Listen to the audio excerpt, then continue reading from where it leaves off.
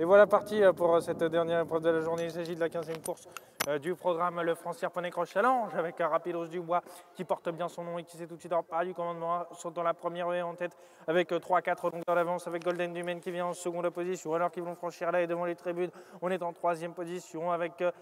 Ibachev qui est là également juste devant Divine Dumaine qui précède Ina de Toras et Imperial Factor Kazakh Ayer qui ferme la marche du peloton, un peloton en finlandienne qui eh bien, est emmené par Rapidos Ouais, Tommy Limerac, vainqueur de l'épreuve précédente, qui a l'avantage en celle sur Rapido Dubois. Golden Dumaine et là, en seconde position avec la casette du Rad Molper. On est troisième avec Chef et Titouan Sportly. On va tenter de venir et on se rapproche avec Imperial Fighter qui passe du premier, du dernier au premier rang sur une simple accélération. Imperial Fighter qui est venu prendre désormais l'avantage alors qu'on vient en seconde position avec Rapido Dubois qui s'est calé dans son dos le long de la corde alors qu'ils abordent la diagonale pour se diriger vers le fameux passage du guet alors que Golden Dumaine est troisième juste devant euh, Ibachev qui est là avec Divine Dumaine et Inat Toras.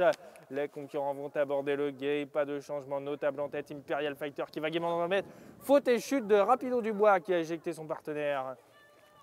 Les concurrents vont aborder euh, la diagonale et toujours euh, Imperial Fighter qui emmène le peloton avec un très léger avantage alors qu'on vient en seconde position avec euh, bien calé dans son dos Titouan Sportly qui est là pour affranchir la banquette en deuxième position avec Ibachev. On est troisième avec Divine Dumaine juste devant Golden Dumaine et Ina de Toras qui ferme la marche du peloton. Les concurrents vont aborder la haie du tournant et pas de changement notable en tête avec toujours Imperial Fighter qui emmène le peloton et qui a l'avantage maintenant depuis 5 ou 600 mètres pour franchir les bidons alors qu'en deuxième position on retrouve Ibachev juste devant Divine Dumaine, Golden Dumaine et on est à distance avec Ina de Toras.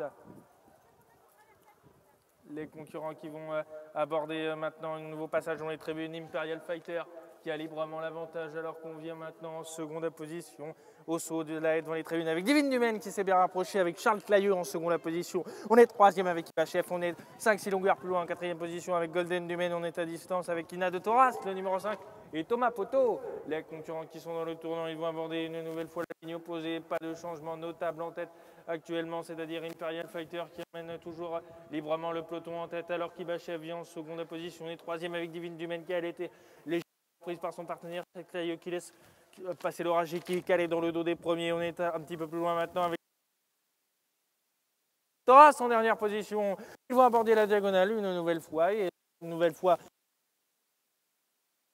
Toujours euh, eh bien, Imperial Fighter qui a l'avantage avec en seconde position Divine Dumaine qui va gaillardement en deuxième position dans le guet alors qu'on est troisième avec euh, maintenant Ibachev et on est quatrième avec euh, Golden Dumaine alors qu'on est arrêté avec Ina de Toras, les concurrents qui abordent la diagonale et là et avec toujours Divine Dumaine qui est venu se rapprocher et mettre la pression au leader pour franchir la banquette. Divine Dumaine qui a pris l'avantage alors qu'en seconde position Imperial Fighter on est troisième en, troisième position avec Titouan Sportly et Ibachev juste devant Golden Human. Là est du bout de la ligne opposée avec euh, l'amorce du dernier tournant avec Divine Dumaine pour franchir les bidons qui a l'avantage d'une longueur et demie d'avance maintenant sur son principal poursuivant Imperial Fighter juste devant Ibachev troisième et Golden Human. La dernière ligne droite, il va falloir les encourager maintenant avec Divine Dumaine qui franchit l'avant-dernière difficulté en tête et qui semble avoir la course à sa merci si elle franchit bien la dernière haie avec Imperial Fighter qui va tenter de venir l'attaquer. Ibachev et Golden Human sont plus loin. Imperial Fighter va s'imposer dans cette épreuve juste devant Divine Dumaine qui est deuxième.